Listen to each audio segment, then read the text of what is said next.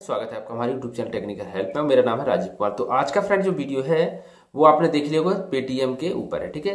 तो पेटीएम की मैं पहले आपको एक बात बता दूँ कि यदि जिन लोगों का अकाउंट नहीं बना हुआ है तो वो भी मेरा वीडियो कंप्लीट देखें, क्योंकि मैं उनको, मेरे चैनल पर एक्चुअली सारे वीडियो डले हुए हैं। अब ये सिर्फ़ मेरे पास दो टॉपिक और रह गए थे पेटीएम की लास्ट जो कि मैं अब आपको बताने वाला हूँ, ठीक है? अब जिनका अकाउंट नहीं बना हुआ है, वो, यदि वो लोग देख रहे हैं, जिनका अकाउंट नहीं बना हुआ है पेटीएम का बिल्कुल भी जानकारी नहीं है तो उस, उसका भी सॉल्यूशन होने वाला है, उसका भी वीडियो मेरे पास है। जिनकी केवाईसी भी बिल्कुल नहीं हुई है, उनका भी सॉल्यूशन है। जिनको पैसे किसी अदर को भेजने हैं, उनका भी सॉल्यूशन है। जिनको अपने पेटीएम अकाउंट में पैसे मंगाना है, वो भी मैं बताऊँगा। और जिनको रिचार्ज वगैरह, यानी कि ए टू जेड सारी जानकारी आपको मिलने वाली है। अब सुनिए। एक एक समस्या आ रही थी जब पेटीएम अकाउंट बना रहे थे तो बनाते समय कुछ लोगों के मोबाइल नंबर पर वो ये दिखा रहा था this account is already exit ठीक है? तो उसका भी सॉल्यूशन है मेरे पास, उसका भी मैंने वीडियो बना रखा है, ठीक है? अब आपको सबसे पहले हम पेटीएम अकाउंट बनाते हैं, फिर उसके बाद जो है मिनी केवाईसी करते हैं, फिर उसके बाद कंप्लीट केवाईसी करते हैं, ठीक है? तब जाकर के हम कोई ट्रांजेक्शन कर सकते हैं। अब यदि आप दस हज़ार तक के कैश को ट्रांजैक्शन करना चाहते हैं, जैसे आप, आपने रखा कि चलो भाई हम तो पेटीएम अकाउंट इतना ही चलाना चाहते हैं कि दस हज़ार तक का ट्रांजैक्शन होता रहे तो आप अपने मोबाइल से ही सब कुछ कर सकेंगे। वो मिनी केवाईसी आपकी जैसे ही कंप्लीट होगी, बस उसके बाद आपको कुछ नहीं करना पड़ेगा। यदि आप चाहते हैं कि दस हज़ार से ज़्यादा तक का यदि हम ट्रांजेक्शन कर सकें, यानी कि पैसे किसी को भी भेज सकें और अपने पेटीएम अकाउंट में मंगा सके, अपने जो है बैंक अकाउंट में तो उसके लिए आपको कंप्लीट केवाईसी करनी होगी। उसका भी वीडियो है मेरे पास, ठीक है? अब आपको बताते हैं कि पहले यहाँ तक कि मैं अपनी प्रोसेस बता दूँ तो पहले मैंने अपना अकाउंट बनाया, उसके बाद मिनी केवाईसी की, मैंने कंप्लीट केवाईसी नहीं की, ठीक है? अब आपको, आपने जैसे पेटीएम अकाउंट बना लिया, अब आपको मिनी केवाईसी के लिए वीडियो मेरे डिस्क्रिप्शन में, यहाँ पे आई बटन में भी दे दूँगा, वहाँ पर लिखा होगा मिनी केवाईसी तो उस मिनी केवाईसी को कर लेना, अपने मोबाइल से, जरा सी प्रोसेस है, तुरंत हो जाएगी, ठीक है? अब आते हैं कि हमें पैसा, जो मेन टॉपिक था इस वीडियो का कि हमें पैसा जो है कैसे अपने वॉलेट में डालना है बैंक से, ठीक है? और बैंक एड कैसे करना है, ठीक है? उसमें तो सारी प्रोसेस तो यहाँ पर हम आ जाते हैं पेटीएम का जो एप से एप्लीकेशन है, उसको ओपन कर लेते हैं। तो यहाँ पर हम चलते हैं, अपनी जो आपकी पासबुक होती है ना कि आपकी पेटीएम अकाउंट की एक पासबुक होती है तो इस पासबुक चलते हैं। मैं थोड़ा स्लो ज़रूर बता रहा हूँ, लेकिन अच्छी इन्फॉर्मेशन दूँगा, ठीक है? यहाँ पर हम जैसे ही पासबुक ओपन करते हैं तो यहाँ पर आप देख सकते हैं पेटीएम वॉलेट में ज़ीरो दिख रहा है, ठीक है? तो हम इस पर क्लिक करते हैं। यहाँ पर लिखा होता है add money to Paytm wallet तो हम इस add money to Paytm wallet में क्लिक कर देते हैं। यानी कि हमें पहले पेटीएम वॉलेट में पैसा डालना है। यहाँ पर हम दस रुपए डालने के बाद एड मनी पर क्लिक कर देते हैं। मतलब मैं दस रुपए डाल रहा हूँ, आप हज़ार पाँच सौ, यानी कि दस हज़ार तक के अंदर का ट्रांजेक्शन कर सकते हैं। तो जैसे ही पेपर क्लिक करते हैं तो यहाँ पर ऑप्शन आ जाता है पंजाब नेशनल बैंक और पीएनबी डेबिट कार्ड तो मैं डेबिट कार्ड से डालूँगा, ठीक है? तो डेबिट कार्ड से आप भी जो है अपने ऐड कर सकते हैं या पंजाब नेशनल बैंक से भी डायरेक्ट ऐड कर सकते हैं आपके अकाउंट द्वारा, ठीक है? तो फ़िलहाल जो एटीएम कार्ड हर कोई चलाता है। तो यहाँ पर मैं सीवीवी तीन अंक का सीवीवी डाल देने के बाद प्रोसेस सिक्योरली पर हम क्लिक कर देंगे, ठीक है? ये आपके डेबिट कार्ड के जो सोलह अंक होते हैं, वो डालने होते हैं और सीवीवी डालना होता है, ठीक है? इसकी भी मैं सारा सोल्यूशन मिलेगा आपको पहले देखते जाइएगा, ठीक है?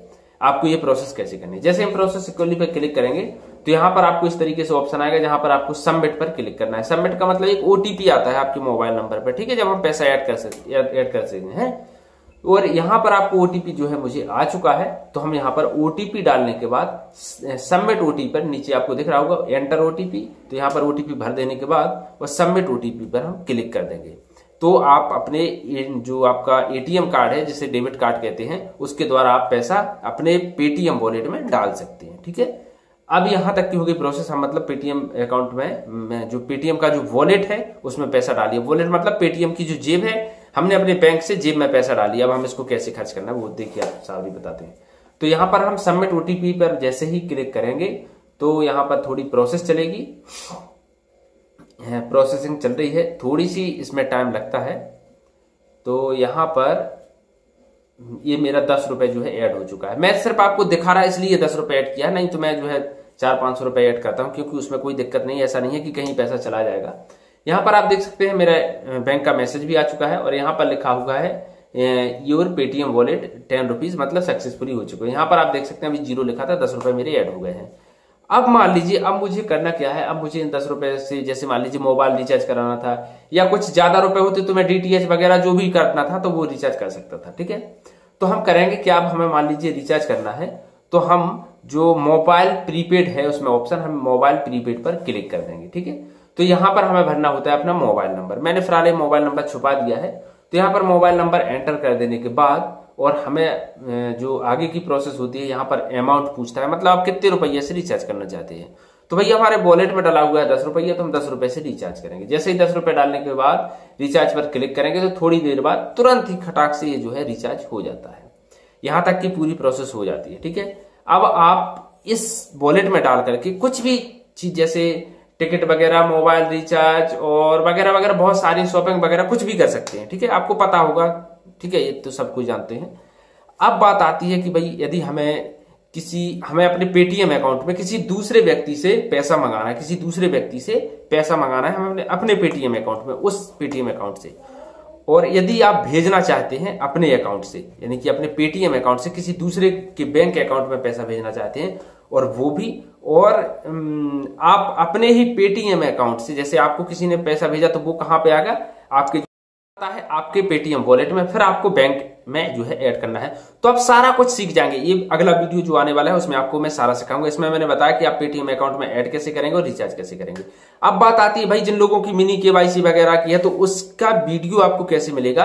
आप नीचे आपको जहाँ टेक्निकल हेल्प लिखा दिख रहा है ना? इस टेक्निकल हेल्प पर आप जैसे ही क्लिक करेंगे तो आपके पास एक स्क्रीन ओपन होकर के आएगी। वहाँ पर आपको ऊपर लिखेगा वीडियो तो वीडियो पर जैसे ही क्लिक करेंगे तो बहुत सारे वीडियोस आ जाएँगे। आप वहाँ से देख लीजिएगा। या उन वीडियो की लिंक में जो भी पेटीएम के सारे रिलेटेड वीडियो हैं तो उनकी लिंक मैं नीचे डिस्क्रिप्शन में दे दूँगा, जैसे आप क्लिक करेंगे तो डिस्क्रिप्शन में आपको पूरा लिखा होगा, ये इस चीज़ का वीडियो है, इस चीज़ का वीडियो है तो सारे वीडियो आप देख सकते हैं। फिर भी यदि कोई आपको प्रॉब्लम हो तो हमें कमेंट्स ज़रूर कीजिएगा, हम उस पर ज़रूर विचार करते हैं और हर कमेंट्स का जवाब भी देते हैं।